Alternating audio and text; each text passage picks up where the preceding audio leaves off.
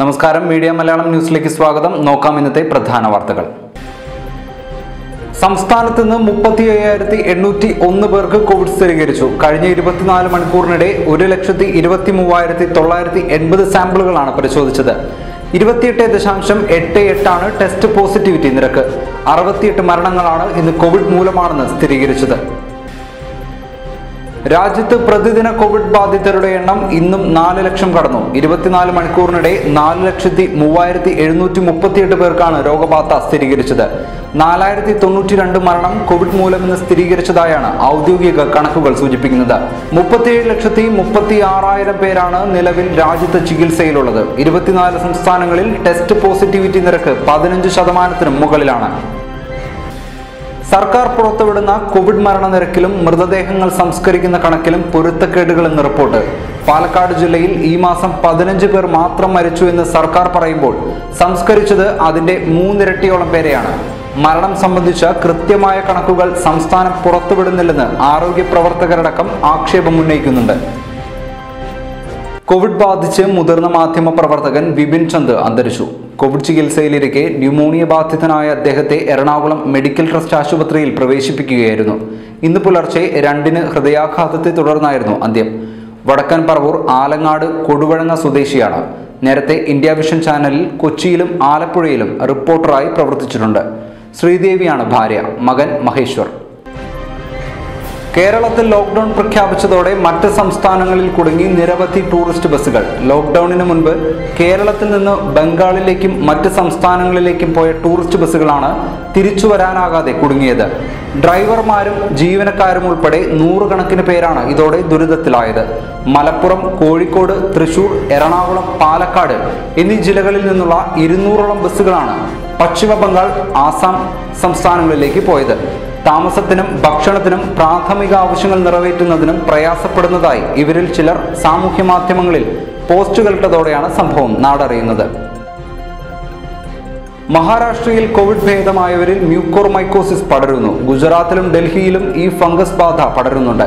Covid ഒന്നാം തരംഗത്തിലുണ്ടായിരുന്നതിനേക്കാൾ വ്യാപകമാണ് ഇത്തവണ മ്യൂക്കോർമൈക്കോസിസ് എന്ന് ഡോക്ടർമാർ പറയുന്നു.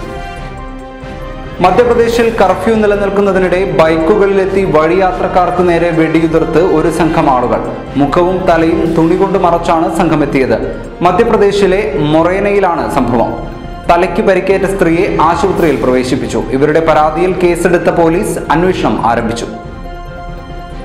മന്ത്രിസഭയിൽ സി പി എം മന്ത്രിമാരിൽ മുഖ്യമന്ത്രി പിണറായി വിജയൻ ഒഴികെ എല്ലാവരും പുതുമുഖങ്ങളാകട്ടെ എന്ന നിർദ്ദേശം സംസ്ഥാന സെക്രട്ടേറിയറ്റിൽ ഉയർന്നതിന് പിന്നാലെ പാർട്ടിയിൽ കൊണ്ടുപിടിച്ച ചർച്ച.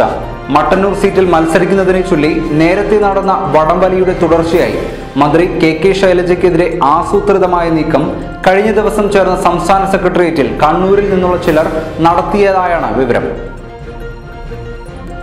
ആശങ്കയ്ക്ക് വിരാമം കുറിച്ച് നിയന്ത്രണം നഷ്ടപ്പെട്ട ചൈനയുടെ ലോങ് മാർച്ച് ഫൈവ് ബി റോക്കറ്റിന്റെ അവശിഷ്ടങ്ങൾ ഇന്ത്യൻ മഹാസമുദ്രത്തിൽ പതിച്ചു. ഞായറാഴ്ച രാവിലെ ഒമ്പത് മണിയോടെയാണ് റോക്കറ്റിന്റെ അവശിഷ്ടങ്ങൾ സമുദ്രത്തിൽ പതിച്ചത്. ഭൗമാന്തരീക്ഷത്തിലേക്ക് കടന്നപ്പോൾ തന്നെ റോക്കറ്റിന്റെ അവശിഷ്ടങ്ങളുടെ പ്രധാന ഭാഗങ്ങളെല്ലാം കത്തിനശിച്ചിരുന്നു. നൂറടി ഉയരവും ഇരുപത്തിരണ്ട് ടൺ ഭാരവുമുള്ളതായിരുന്നു റോക്കറ്റ്. ഇതിന്റെ പതിനെട്ട് ടൺ ഭാരമുള്ള ഭാഗമാണ് ഭൂമിയിലേക്ക് പതിച്ചത്.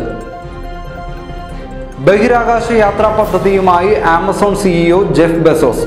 ഇതിനായി തന്റെ റോക്കറ്റ് കമ്പനിയായ ബ്ലൂ ഒറിജിന്റെ ഓഹരികൾ വിൽപ്പനയ്ക്ക് വെച്ച് പണം കണ്ടെത്തുകയാണ് അദ്ദേഹം. ജൂലൈ ഇരുപതിന് കന്നി ബഹിരാകാശ യാത്ര നടത്തും. ന്യൂ ഷെപ്പേർഡ് സ്പേസ് ക്രാഫ്റ്റ് എന്ന വാഹനമാണ് വാണിജ്യാടിസ്ഥാനത്തിൽ ബഹിരാകാശ വിനോദയാത്ര സംഘടിപ്പിക്കുന്നത്. ഭൂമിയിൽ നിന്ന് നൂറ് കിലോമീറ്റർ ഉയരത്തിൽ ആറ് യാത്രക്കാരെയും കൊണ്ട് സ്വയം പറക്കുന്ന പേടകമാണ് New Shepard space craft covid വ്യാപനം തുടരുന്ന പശ്ചാത്തലത്തിൽ ഡൽഹി സർക്കാർ പ്രഖ്യാപിച്ച ലോക്ഡൌൺ ഒരാഴ്ചത്തേക്ക് കൂടി നീട്ടിയതായി മുഖ്യമന്ത്രി അരവിന്ദ് കെജ്രിവാൾ.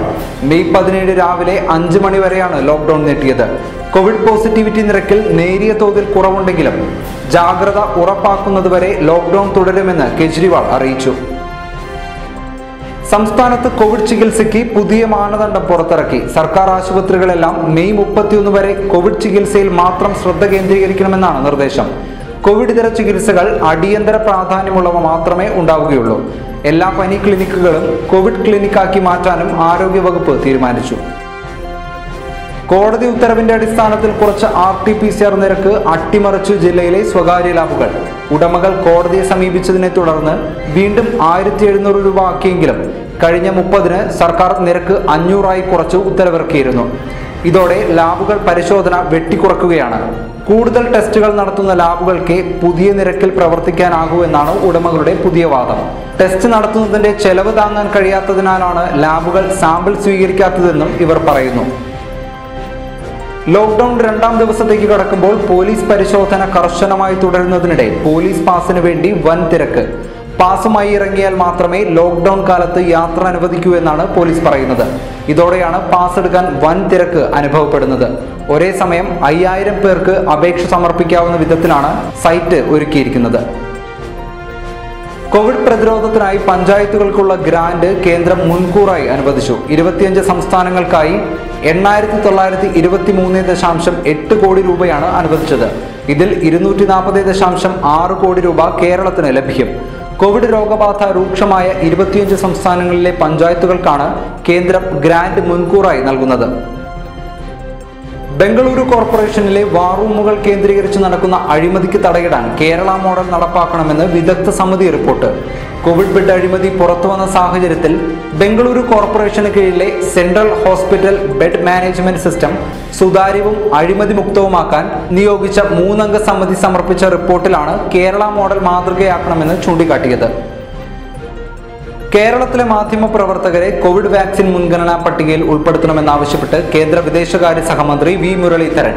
ഇക്കാര്യത്തിൽ കേരള സർക്കാർ അടിയന്തര നടപടി സ്വീകരിക്കേണ്ടതാണെന്നും വീഴ്ച വരുത്തരുതെന്ന് സംസ്ഥാന സർക്കാരിനോട് അഭ്യർത്ഥിക്കുകയാണെന്നും അദ്ദേഹം ഫേസ്ബുക്ക് പോസ്റ്റിൽ കുറിച്ചു. മുതിർന്ന മാധ്യമ പ്രവർത്തകൻ വിപിൻ ചന്ദ് കോവിഡ് ബാധിച്ച് മരിച്ച സാഹചര്യത്തിലാണ് കേന്ദ്രമന്ത്രി ഇക്കാര്യം ചൂണ്ടിക്കാട്ടിയത്. ഒരാഴ്ച നീണ്ട സസ്പെൻസിനൊടുവിൽ മുതിർന്ന നേതാവ് ഹിമന്ത ബിശ്വ ശർമ്മയെ അസം മുഖ്യമന്ത്രിയായി പ്രഖ്യാപിച്ചു. നിലവിലെ മുഖ്യമന്ത്രി സർബാനന്ദ് സോനോവാളാണ് നിയമസഭാ കക്ഷി യോഗത്തിൽ ഹിമന്തയുടെ പേര് നിർദ്ദേശിച്ചത്. ഹൈക്കമാൻഡ് പ്രതിനിധികൾ അടുത്തയാഴ്ച കേരളത്തിലെത്താനിരിക്കെ പ്രതിപക്ഷ നേതാവ് ആരായിരിക്കുമെന്ന കാര്യത്തിൽ സംസ്ഥാന കോൺഗ്രസിൽ അഭ്യൂഹങ്ങൾ ശക്തം. ചെന്നിത്തല തുടരണമെന്ന് ഒരു വിഭാഗം ഐ ഗ്രൂപ്പ് നേതാക്കൾക്ക് ആഗ്രഹമുണ്ടെങ്കിലും ഭൂരിപക്ഷം എം എൽ എമാരുടെ പിന്തുണ കിട്ടുമെന്ന പ്രതീക്ഷയിലാണ് വി ഡി സതീശൻ. കേരളത്തിലെത്തുന്ന എ പ്രതിനിധികൾ എം എൽ എമാരെ ഒറ്റയ്ക്കൊറ്റയ്ക്ക് കണ്ടാകും അഭിപ്രായം തേടുക.